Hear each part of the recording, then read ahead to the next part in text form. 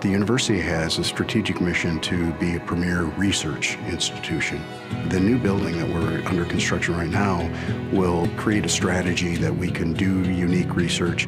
We have eight to 10 contractors here almost all the time, and we're the ones kind of building the campus, and this campus is what builds this community. So we're here at the ground floor.